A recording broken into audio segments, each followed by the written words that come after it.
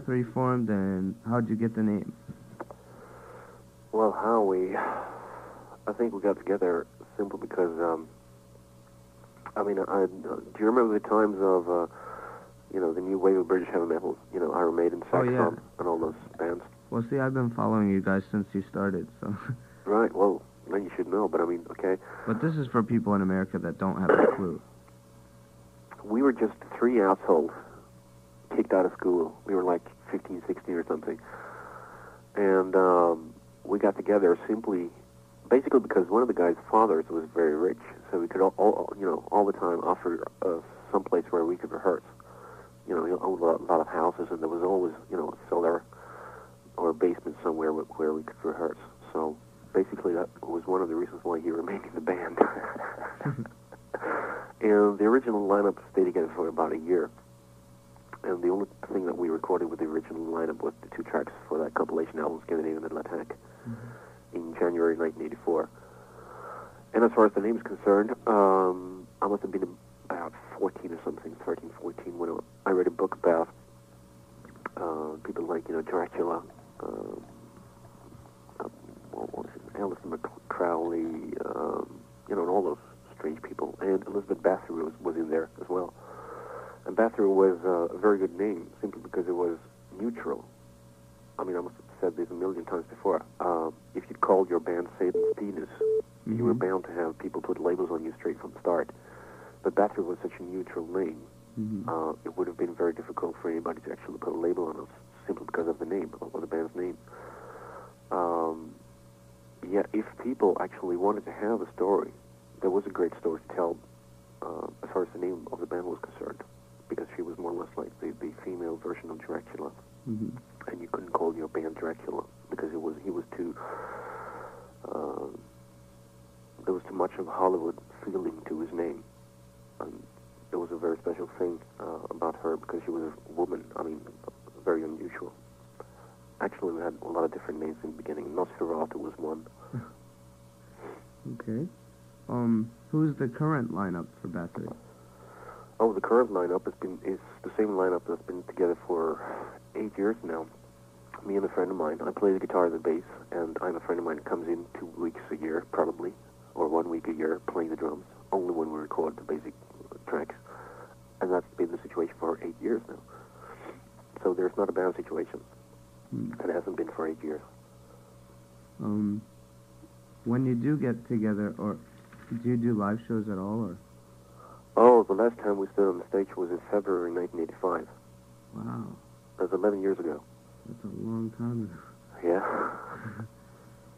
Um, I heard a rumor that you played everything on the first three records. No. No? I played half of the bass on the second album. On the third album, uh, I mean, on the first album, I played the guitar and I did the vocals. And I had two friends of mine. Actually, they were brothers. And they were in a, in a different band, so they were never sort of like a part of the band. Actually, when the first lineup had split up, basically because they were into, you know, bands like Whitesnake and Iron Maiden and asked me to, to write that kind of material, we went separate ways. Uh, I mean, we were nobodies in those days anyway, so who, who the hell cared about the original line, lineup splitting up? Uh, but then um, the record company uh, that had put out the first compilation album in early '84 called me and said, like, "Hey guys, you you, got to get together to record an album because um, we were the only band on that compilation album. I think there were five or six bands on that album. Uh, we were the only band to receive fan mail." And only at that time we realized that there was something happening in Europe. I mean, the underground scene and everything. Um, and I mean, I didn't want those two guys in the band anymore. I mean, I'd progressed and everything, become more brutal and everything. Mm-hmm. So I got together with two friends of mine. They were playing a punk band here in Stockholm, and they were not into heavy metal or any, any of that kind of bullshit at all. They were into punk, and I've been playing in punk bands prior to Bathory as well, uh, since I was 12, I think. Um, so I, I sort of like just um, told these guys, hey, why don't we just like team up in the studio when we recorded the album? And we rehearsed for about six hours, and they recorded an album in 30 hours, including mixing and sound check and everything. So in 36 hours, we had the first al- album together. It was just for fun, more or less. We had no ambitions whatsoever. We had no clue. Now, on the first three records, they they had like a, a satanic theme to them, and then I noticed on Hammerheart you switched, or Blood, Fire, Death, you switched to um, uh, Nordic mythology. Is there a reason for the change, or? Well, it's very easy to just simplify the whole thing by just calling it either Satanic or, or Norse or, or Viking mythology you know, type of album. Um, I think the truth is more complicated than that. I think one of the reasons why we picked up the whole Satanic issue was basically because each and every one of us in the band at that time had been growing up listening to Black Sabbath. And, um, I mean, that was the base for everything. I mean, the, the, the lyrics and the atmosphere of Black Sabbath, the sound of Motorhead, and the appearance of Kiss. I mean, that, that was it. I mean, there you have it. I mean, you don't really need much more than that. Mm-hmm. We didn't, you know, try to make any statement or anything like that. I mean, we had no clue as far as Satanism was concerned. I mean, we were so innocent. And as far as the lyrics are concerned, on the first two albums at least, that was just like horror stories. Mm-hmm. Um, we didn't have, you know, we knew shit about Satanism or anything, you know, the occult and everything. And um, on the third album, I all of a sudden realized, hey, come on, I mean, this is our third album. Um, why don't we try to do something a little bit different? So most of the songs on that album was recorded or written on, a, on an acoustic guitar. And I got hooked on classical music, basically because uh, the drummer in the band at the time was uh, taught in classical music. I played a lot of classical music. So um, there was a change already there in the music. I mean, thinking how to arrange your music and everything. And we started to sing about different things than the underground and, you know, hell and stuff like that, because everybody else was doing it at the time. hmm And also, the music um, on the first three were were real fast and, and brutal, and then you got slower and longer. uh, what was the reason for that? We got older. no, actually, I mean, once once you're in the position, you, you you're actually allowed to record albums. And as a songwriter, I mean, if you're uh, if you're a cook or or, or you make a living as, as a prostitute or, I mean anything, I mean, after a couple of years, you get really bored with you know just giving a blowjob or, or or making spaghetti every day.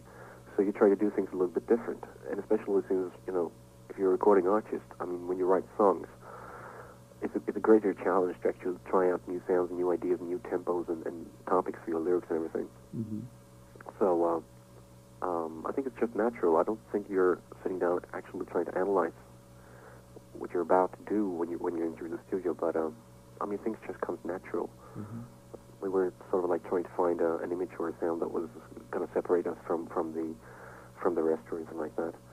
Um, it just became natural. I mean, I'm sure if we, we would have been a, a New York-based band and we had to, to play in clubs and, and do that whole date thing uh, to survive, it would have been a completely different matter. But Mhm. now, only having to record an album a year to still survive, not having to do videos or concerts or put up with great line merchandise, merchandise or anything like that. hmm If you're just recording an album every 20 months or something like that, you um, you change. I mean, you don't live from the edge, of the knife, sort of like. Um, You can change and still survive. here it is, uh, ten years, ten or so years later, and you're still 14. 14, and you're still doing Bathory. How do you explain the longevity? Um, well, like I said, if, if there would have been um, a band situation, there would have been three or four different minds, you know, um, sort of like wanting different, wanting different things with the band. And um, there's um, there's a whole different situation when, bands need to go out to play concerts, to do tours and videos and things like that. And when you're tied in with a record company that puts, you know, the band in the position where you have to make a certain type of a record. I mean, just look at Metallica. You know, they have guys coming in down down the studio wearing suit and ties and telling those guys how to sound. You know, um, we would never want to end up in that kind of situation. So, um, why we're still around after 14 years, I don't know. Because, I mean, we're neither better or faster or greater or anything, else, you know, than any other band. I mean, if the first Bathory album or the first Venom album or the first Slayer album would have been released today, none of, you know, nobody would have cared because those albums were not great albums compared to what's coming out today. Mhm. But they were special albums in those days. I mean, you have to put everything into its right time window, so to speak. Uh-huh. What made you put out a solo album? Um, we recorded an album in 1990, I believe, called Twilight of the Gods.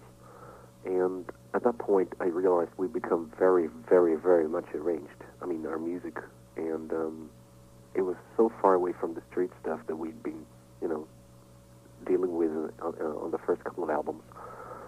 Um, so we more or less just painted ourselves into a corner, and it was very, very it was a very, very difficult thing to to take us out of there because, um, I mean, we were just um, at the time we were big drums, um, a lot of echoes, 16 tracks of harmony vocals and sound effects and everything, and that's what people wanted. But after some time, it becomes very, very boring. So actually, I just laid Bathory on ice for two years. I didn't even touch the guitar. I mean, there you have it. I mean, for me not to touch my guitar for two years, that's amazing. And then people just said, like, okay, even though you cannot write material for Bathory, yeah, you don't know what you want to do with band, um, and you're not even bothering about, you know, getting a bass player for the band. Um, um, I was actually tossing with the idea of cutting my hair, trying to get an, uh, some kind of an education, academy education and stuff. Um, they said, like, why don't you enter the studio to record a solo album? I mean, just do anything and keep yourself alive as a musician and a songwriter. So I just went in there, bringing a guitar and a bass and a drum machine, and for three days we just had great fun. And if that thing hadn't happened, then the Bathory wouldn't be no more. It was just sort of like a lot of a, a lot of steam, frustration, and to have fun and find yourself as a guitar player and, and a musician. Not that anything that we've done with Bathory after that has been close to the solo album, but it was um, it was the rescue. I mean, what's the English word? Um, it sort of like saved Bathory. Ooh. Um, who are some of your musical influences? Oh, I know it sounds very, very, very strange, but out of everything that that you get to hear um, on the radio and everything, I mean, the core of what you're actually playing on, on, on CDs at home. I mean, there's still Beethoven, Wagner, Mountain, uh, Led Zeppelin, early Kiss, early Sabbath, Motorhead, early Motorhead. Um, anything else? Um, did I say the Beatles? Yeah, I'm sure I said the Beatles. Pistols. I mean, stuff that's. I mean, none of that stuff is is younger than you know 15 years. So, Mhm. um, not that that means that everything that's been released for the last 15 years has been bullshit, but um, I guess that's what what's actually influencing you as a musician and, and a person still today. Um, is Quorton your real name? Oh no, absolutely not. we picked those names simply because at the time there was a. Do you remember these Swedish band Europe? Oh yeah. Um, they were sort of like number one in Sweden at the time, or had been, you know, that was the first Swedish rock band or a hard rock band that was actually playing on TV. We had not a single second of heavy metal on the radio or on TV, and there were no heavy metal magazines. They didn't, they, they did, just didn't care about heavy metal in Sweden, as far as the media is concerned. And outside of Sweden, I mean in Europe, um, heavy metal was becoming number one type of music. I mean Iron Maiden, Saxon, um, and all those bands, new wave of British heavy metal.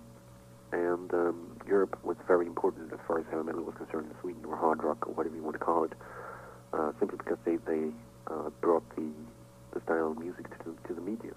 Mm-hmm. And at the time, they were very big. But the problem was they didn't use their real Swedish names. They took you know fake names like uh, Tempest and blah blah blah, you know. And we thought, I mean, man, that's really stupid.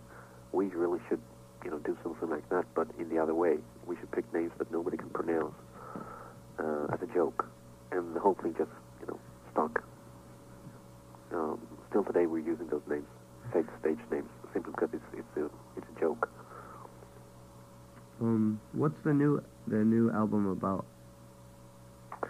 Well, we um, I don't know if you mean the album we're in the process of recording right now, or I am in the process of recording right now, or if you're thinking about Blood and Ice. Uh, Blood on Ice.